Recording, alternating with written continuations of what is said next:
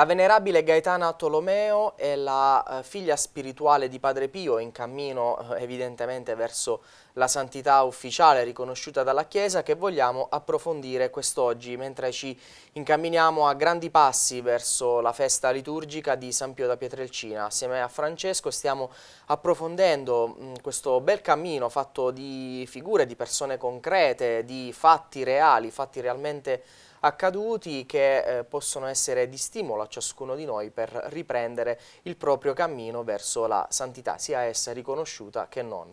Dunque, quest'oggi la venerabile Gaetana Tolomeo. Sì, per tutti Nuccia, eh, questa bella ragazza, una ragazza eh, bella dentro, vittima, che si è offerta vittima per l'umanità sofferente, lei lo, lo diceva spesso. Purtroppo Nuccia ha, ha da subito, da, da, dalla nascita, ha un, un problema. Uh, lei nasce um, il 10 aprile del 1936 ed è venerdì santo. Già questo ci fa capire, ci fa entrare in quella che è stata la sua vita, uh, una vita fatta di sofferenza. La diagnosi è terribile, appena nata, eh, ha una paralisi progressiva deformante. Pensate un po', per cercare una cura, eh, si, la famiglia si trasferisce a Cuneo, ma non, non riescono, non, non c'è proprio nulla da fare. Eh, ed è una bambina che viene subito educata eh, cristianamente, matura la sua coscienza ehm, del suo stato in una visione di fede, trova così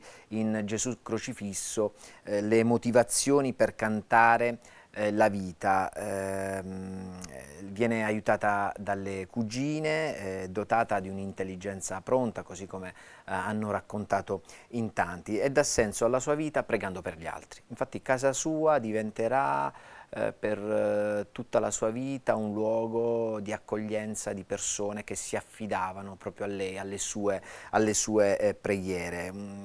Lei che è diventata eh, nel corso della sua vita una testimonianza vivente di coraggio, di fortezza eh, e di sorriso, perché lei sorrideva sempre, nonostante la sua malattia, nonostante la sua sofferenza, anche quando stava male, ci sono anche dei filmati di, di Nuccia, perché eh, tra l'altro Nuccia eh, è morta eh, quando c'era la possibilità di avere delle immagini a colori, insomma negli anni... 1997. nel 1997, e lì col tutto il suo sorriso, eh, infatti chiamava il suo angelo custode sorriso con tutto il suo sorriso, era il sorriso, un'arma importante che usava, eh, contagiosa e che regalava e donava a tutti coloro che eh, andavano, andavano, a trovarla. Eh, infatti c'è un'espressione un di Nuccia che eh, si affida a uno strumento di evangelizzazione che è la radio, infatti lo farà attraverso Radio Maria, dove lei aveva un programma fisso ogni settimana grazie eh, ci sono state tutta una serie di coincidenze una che sono... collega, diciamo. Sì, sì, ci sono state una serie di coincidenze che sono partite da Padre Pio, perché eh, la responsabile dei gruppi di preghiera di Catanzaro la mise in collegamento eh, con eh, il giornalista Quaglini, che poi è diventato eh, un testimone anche eh, per tutta la sua, eh, un, uno dei testimoni della sua causa.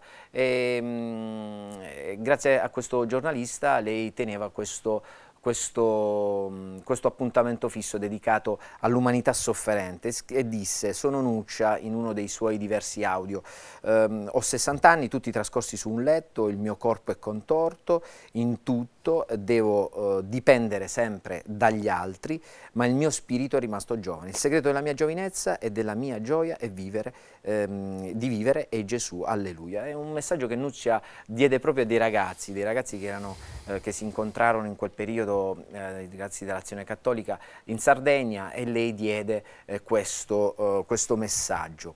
E, ehm, mh, Padre Pio. Padre Pio, eh, lei è sempre mh, sostenuto di essere una fervente figlia spirituale di Padre Pio, ha appreso da Padre Pio sicuramente attraverso la sofferenza eh, e anche nel, nel, dare una parola di conforto agli altri e vedere, quindi incarnarsi in quello che, era, eh, in quello che, è, eh, che è, la croce e quindi eh, Gesù eh, crocifisso. Ehm, ha preso in prestito l'arma di Padre Pio perché lei attraverso il rosario ha convertito e ha cercato di convertire tante persone che andavano eh, da lei. Infatti mh, la stessa Nuccia chiamava il, la corona del rosario, la chiamava la sua, la sua arma. Eh, e c'è un episodio anche particolare, anche perché Nuccia ha scritto diverse lettere a Padre Pio e in, in, sono stati diversi telegrammi che da San Giovanni Rotondo arrivavano a, a, a Catanzaro, a casa sua, eh, anzi tra l'altro c'era solo la scritta, ad esempio eh, c'è un episodio proprio significativo eh, da raccontare. Eh, Nuccia stava male, eh, alle 5 del mattino eh, però eh, avverte un grande profumo, lei si affida a Padre Pio, lei stava uh, male e quindi era spacciata, non c'era più nulla da fare. Uh, dopo alcune ore arriva un postino, il postino che uh, consegna un telegramma che, non c'è indirizzo su questo telegramma, c'è solo scritto Nuccia CZ e basta.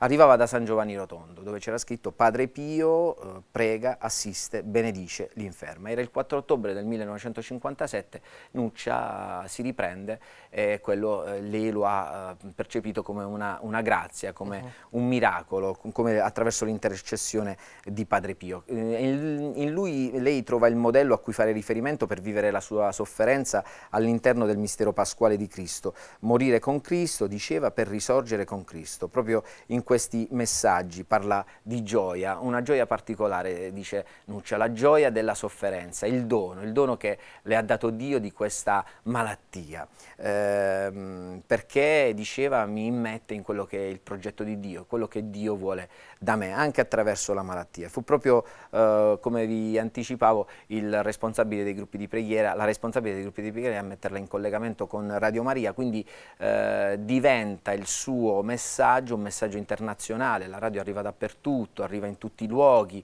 eh, tanti, eh, tanti, carcerati si affidano proprio a lei, eh, tante preghiere, tante intercessioni, tantissime lettere che sono giunte proprio a Catanzaro anche attraverso questo strumento, quindi questo, questo modo di evangelizzare eh, di, questa, di, questa, di, questa, donna che eh, è ormai quasi giunta alla, eh, lo possiamo dire, fra Pasquale Pitari eh, che all'interno dell'ufficio della, della, postulazione ehm, è al vaglio un miracolo e quindi possiamo dire che tra qualche mese forse avremo la notizia anche della beatificazione di Nuccia. Mentre eh, io soffro e offro, tu Signore guarisci, operi e liberi. Dunque così eh, Nuccia, la venerabile Nuccia, eh, si associa alle sofferenze di Gesù eh, in completa sintonia anche con Padre Pio e muore dicendo portatemi Gesù, voglio Gesù. Dunque un'altra vita, quella ehm, che abbiamo voluto descrivere eh, quest'oggi per sommi capi ovviamente, che potete ritrovare in una versione un po' più estesa nel eh, giornale Voce di Padre Pio del mese di settembre del 2019. Noi anche per quest'oggi abbiamo chiuso, grazie Francesco e grazie a tutti voi.